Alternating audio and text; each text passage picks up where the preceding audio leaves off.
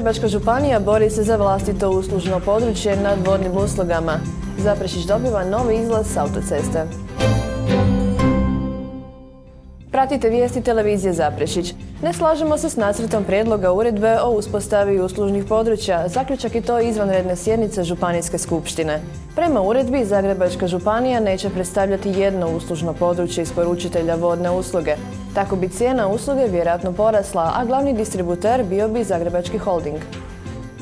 Skupština je zaključila kako je bolja opcija prijedlog Hrvatskih voda iznesen u prosincu prošle godine. Donesen je zaključak po kojem se onda predlaže da se oformi uslužno područje Zagrebačke županije bez grada Samobora grada Sveto, Svete Nedelje i općine e, Stupnik koje bi pripalo gradu Zagrebu, odnosno Zagrebačkom holdingu, jer je to tako i danas, a općina Jakovlje pripala Krapinsko-Zagorskoj županiji. Nacrt prijedloga o uslužnim područjima doveo bi do gubitka prava na upravljanje vodoopskrbnim sustavom na svom području, ističe župan. Svi postojeći, ali i eventualno neki budući e, pravci vodovodne mreže koje bi se gradili, bi upali pod ingerenciju prije svega grada Zagreba, a ovo zaprešičko područje pod ingerencijom Krapinsko-Zagorske županije i mislimo da je to izuzetno loše i zbog toga što je razvoj vodovodne mreže izuzetno bitno za gospodarski razvoj određenog područja. Osim upravljanja vodnim uslugama, za županiju postoji još jedan nedostatak nacrta, a to je formiranje zajedničke cijene za cijelu regiju. To znači da će cijenu formirati holding koji trenutno ima najskuplju vodu. Načelnici, gradonačelnici, evo, mi mislimo da očito će onda sutra, a bit će jedinstvena cijena na e, cijelokupnom području, biti ona koja je sad najveća, ta je u holdingu, odnosno gradu Zagrebu. Sličan stav dijeli i direktor komunalnog poduzeća Zaprešić Željko Majcen. Iako ističe da Zaprešić čini funkcionalnu cjelinu s Krapinsko-Zagorskom županijom, nacrt prijedloga ne smatra dobrim rješenjem. Ističe da bi za Zaprešić bilo idealno kada bi općina Bistra i Zaprešić činili zajedničko uslužno područje. To uslužno područje zadovoljava one najbitnije uvjete, a to su e, da godišnje e, ima 3 milijuna kubika vode i e, tehnološka cijelina smo bez daljnjega, to ne moramo uopće govoriti, a i sve druge ove manje bitne uvjete bez daljnjega da mi zadovoljavamo sami. U prostorni plan grada Zaprešića uskoro će biti uvršten novi prometni čvor. Omogućit će se izravan ulaz i izlaz autoceste Zagreb-Macilj u gospodarsku zonu Shopping City-a Zagreb.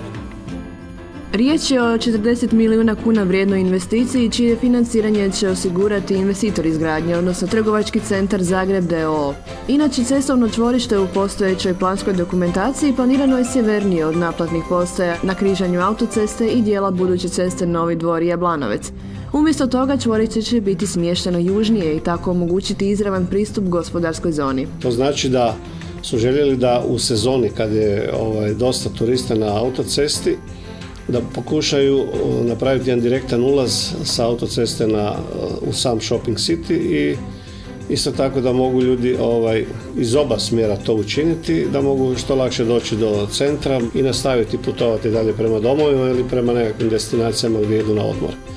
Znači ideja je bila ne od jučer, ne od prekjučer, nego smo mi već u zadnjih par godina tražili, ili oni bolje rečeno kao investitori, da se ovaj, takav spoj napravi. Sad je to uspjelo, naravno vjerojatno inzistirajući na tome a ne samo zbog postojećeg vezgeta, nego i zbog budućih ovaj, korisnika ili investitora. A to znači da eh, eventualno budući investitori ili potencijalni korisnici te lokacije traže ili inzistiraju da imaju direktan pristup ovaj, sa autoceste ovaj, tako da bi e, krenuli sa ulaganjem. Ovakav prijedlog grad Zaprešić prihvatio je u nadi da će koncept privući gospodarske subjekte i investitore, a s druge strane poboljšati uvjete poslovanja trgovačkog centra. Bez tog direktnog spoja vjerojatno daljnjeg razvoja centra, daljnji razvoj centra je upitan.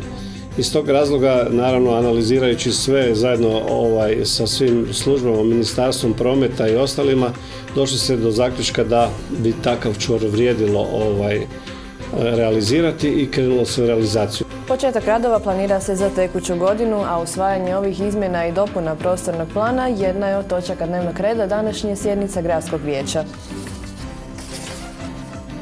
Policijska postaja Zaprešić izdvojila je dva događaja tijekom posljednja 24 sata. Slijedi dnevno policijsko izvješće. ćemo dva događaja. Tako jučerašnjeg dana, već u 7.10 zaprimili smo dojavu od djelatnika osnovne škole u Zaprešiću da je razbijeno staklo postupanjem policijskih službenika utvrđeno da je tijekom vikenda za sada nepoznate osobe razbijena vanjska staklena stjenka prozora. Policijski službenici zaprimili su ovu prijavu te se nastavlja daljnji rad u cilju utvrđivanja počinitelja ovog kaznenog dijela. Bilježimo i krađu, tako smo u 8 sati jučerašnjih dana zaprimili dojavu od voditelja humanitarnog centra u Zaprešiću, a postupanjem policijskih službenika potvrđeno da je tijekom noći za sada nepoznati počinitelj ušao u prostor skladišta te iz istoga otuđio razne predmete. Policijski službenici nastavljaju danji rad u cilju utvrđivanja počinitelja ovog dijela. Postićemo se mještane Poljanice Bistranske. Za sutra i preko sutra su zakazani radovi na elektroenergetskom postrojenju HEPA, pa u srijedu četvrtak od 8 do 14 sati bez struje će biti Podgorska i Brezovečka ulica te Golubinec. U slučaju lošeg vremena radovi se odgađaju. Također u knjižnici Ante Kovačića sutra u 18 sati počinje maskenbal za najmlađe. Tema je Petra Pan. Pogledajte i ostale najave. 28. veljače u društvenom domu Kupljenovo s početkom u 20 sati održat će se Valentinovske huncutarije u organizaciji Kuda Kupljenovo.